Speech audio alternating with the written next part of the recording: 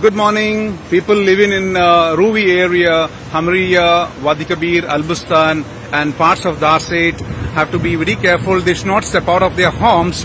As you can see, the long vehicular traffic and people movement have been controlled by the Royal Oman Police in view of fighting the COVID-19 coronavirus community spread from today, Wednesday, uh, the 1st of April, and we are standing at uh, Ruwi OK Center area where you can see long serpentine queues of vehicles as uh, they're waiting for their permission to enter um, Wataya area. So be careful, please stay home and uh, take part in this national movement of fighting coronavirus and uh, wash your hands, stay home, follow social distancing and thank you so much.